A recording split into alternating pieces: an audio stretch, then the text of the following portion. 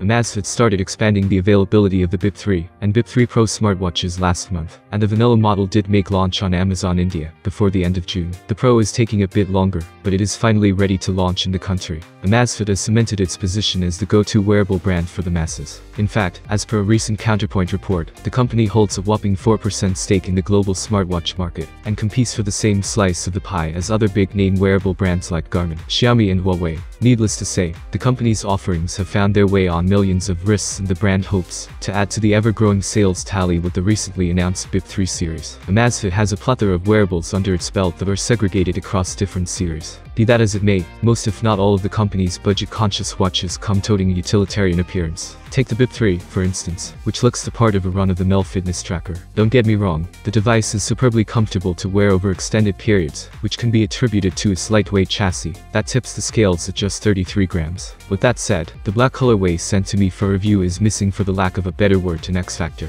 Thankfully, the watch is available in two more peppy colorways, so buyers looking to make a splash with their purchase should purchase the BIP 3 in a blue or pink avatar. On the bright side, the wearable touts water resistance of up to 5 ATM, so you can wear the device in a shower, or whilst swimming too. Moving on, the watch ships with a physical crown that has been positioned on its right-hand spine. The toggle offers adequate tactility and doesn't feel mushy in the slightest, which is great. Lastly, you should know that the watch comes with an anti-fingerprint coating layered on top of the display. Display-wise, the Amazfit BIP 3 features a revamped 1.69-inch TFT LCD panel. The display is quite sizable so much so, it even casts a shadow on the BIP U's 1.43-inch screen, and is the biggest display on any BIP series watch to date. Interestingly, the screen is bordered by relatively sleek bezels, and therefore, the panel doesn't come across as unwieldy or clunky. Further, the display is fairly pixel dense too, and offers a resolution of 240 by 240 pixels. I should also point out that the screen responded to my swipes and touches in an admirable fashion. The panel is quick to register all my inputs, and the display is big enough to read incoming notifications comfortably too, which is great. The icing on the cake is that the panel curves gently along the edges so, you won't feel the unit's plastic frame rub against your fingers when you're navigating through the watch's UI. Speaking of which, the wearable offers a straightforward and user-friendly interface. To wit, you can access shortcuts for the brightness, alarm, and other system settings by swiping from the top to the bottom.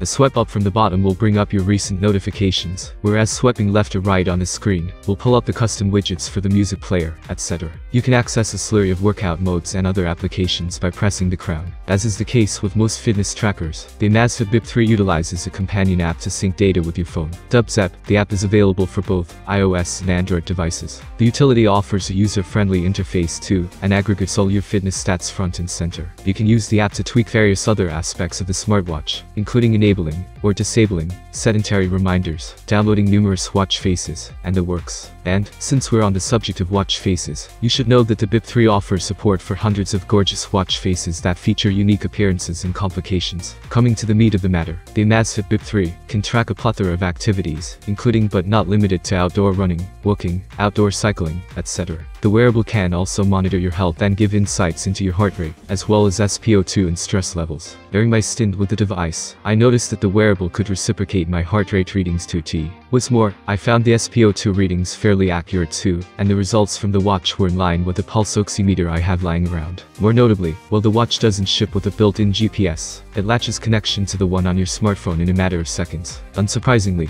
the wearable mapped routes admirably when I was out for a walk or run. Furthermore, the unit even sheds a light on your average pace, calories burnt, and heart rate when you select a running activity like the treadmill or outdoor running from the watch's interface. The unit's step tracking was to my liking as well, and the watch didn't add a ton of ghost steps to the overall step tally. Furthermore, the step count was on par with the results from pricier fitness trackers, like the Fitbit Versa 2 and Charge 5 as well, which is great. The watch is more than adept at tracking your sleep patterns too. To wit, the device can break down your sleep cycle into deep, light, and REM sleep. The sleep patterns assessed by the wearable were to my liking as well, and unlike some competing devices, the BIP 3 tracks the overall sleep time quite accurately. It also helps that the wearable is superbly comfortable to wear to the bed as well. As for the battery backup, the wearable ships with a 280 mAh cell which, with moderate usage comprising tracking sleep and runs every day, as well as relaying notifications to my wrist, lasted me around 7 days off a full charge. The Amazfit BIP 3 retails for 3,499 rupees, and for the price, ticks most of the right boxes. For one, the watch is superbly comfortable to wear day in and day out. The unit can track a ton of activities too, and offers support for all-day heart rate monitoring, and SpO2 tracking as well. And, while I am not quite sold on the unit's appearance,